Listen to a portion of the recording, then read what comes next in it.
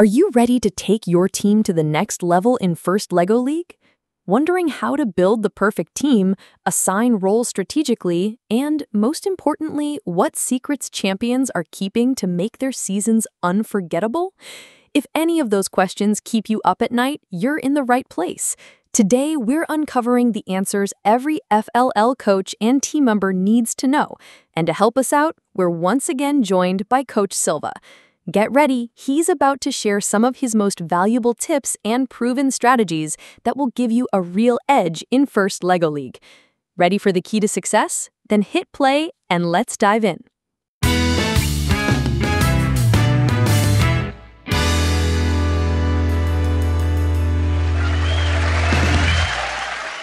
Hi, Coach. Welcome back.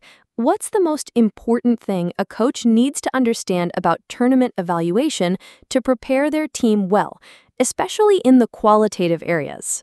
The key is realizing that the qualitative areas, the innovation project, robot design, and core values, are judged using rubrics that don't focus on perfection. They're looking for evidence of process, learning, and application of values. The robot game is the only part that's scored with numbers. The presentation is just one piece. Judges watch how the team interacts naturally the entire time. A coach has to help the team focus on all areas equally because they all carry the same weight when it comes to the top awards, like the Champions Award. So, a strong team has to pay attention to all the judged areas, right? Exactly. But even more important, they should never lose sight of what they're learning and that they're having fun along the way.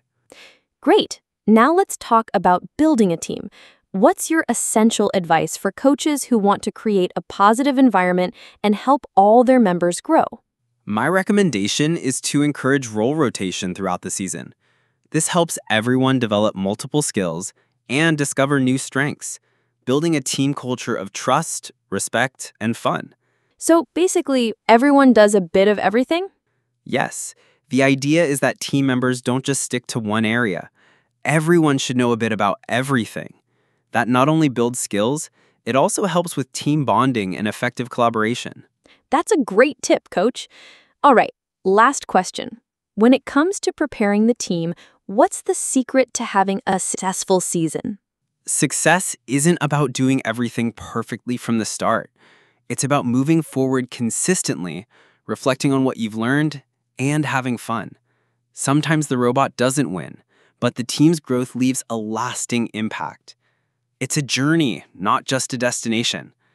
As a coach, it's your job to help them see that. Well, unfortunately, that's all the time we have for today.